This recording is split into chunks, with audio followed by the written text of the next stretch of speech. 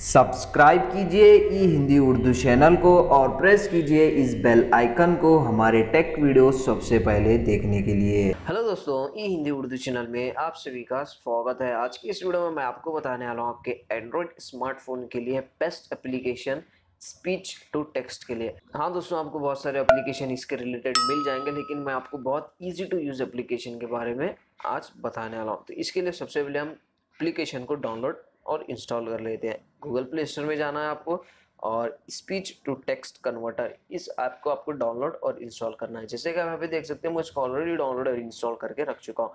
Download और install करने के बाद इसको ओपन कीजिए दोस्तों। अगर आपके डिवाइस में आप बहुत ज़्यादा टाइपिंग करते हैं तो आपके लिए ऐप बहुत यूज़फुल होगा दोस्तों। इसको ओपन कीजिए। ओपन करने के बाद दोस्तों, यहाँ पे आपको कुछ इस तरह का इंटरफेस दिखाई देगा। तो सबसे पहले आपको आपकी लैंग्वेज यहाँ पे सिलेक्ट करना है, जैसे कि मैं इंग्लिश इंडिया सिलेक्ट किया हूँ। सिलेक्ट करने के बाद दोस्तों, और यहाँ पे आप देख सकते हैं दोस्तों स्टार्ट आउट ऑफ़ स्पीकिंग ये आपको ऑप्शन चेक करना है और स्पीक नाउ जस्ट क्लिक करना है. Hello guys subscribe to our channel तो जैसे कि आप यहाँ पे देख सकते हैं दोस्तों, जो मैं बोला हूँ, उसी तरीके से सेम एज इट इज़ मेरे स्पीच को ये टेक्स्ट में कन्वर्ट किया है. जैसे कि आप यहाँ पे देख सकते हैं hello guys subscribe to our channel so इसके बाद दोस्तों, अगर आपको ये टेक्स्ट को कॉपी करना है तो जस्ट यहाँ पे आप देख सकते हैं, इसको आप यहाँ से, यहाँ पे इजीली कॉपी कर सकते हैं और जहाँ पे भी आपको फेसबुक व्हाट्सअप जहाँ पे भी इसको पेस्ट करना है तो पेस्ट कर सकते हैं।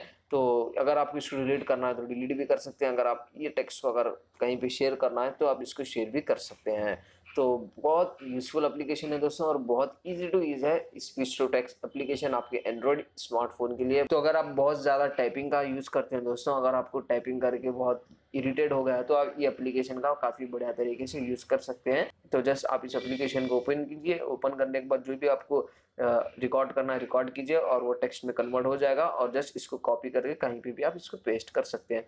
तो बहुत यूजफुल एप्लीकेशन है दोस्तों, ज़्यादा कुछ है नहीं दोस्तों, इस वीडियो में बताने के लिए। एक्चुअली वीडियो को किसी सब्सक्राइबर के लिए बना रहा था। वीडियो पसंद आ गई हो तो लाइक कीजिए शेयर कीजिए और सब्सक्राइब कीजिए। वीडियो के रिलेटेड जो भी डॉट्स है कमेंट सेक्शन में आप अपने डॉट्स को क्लियर कर सकते हैं। Thank you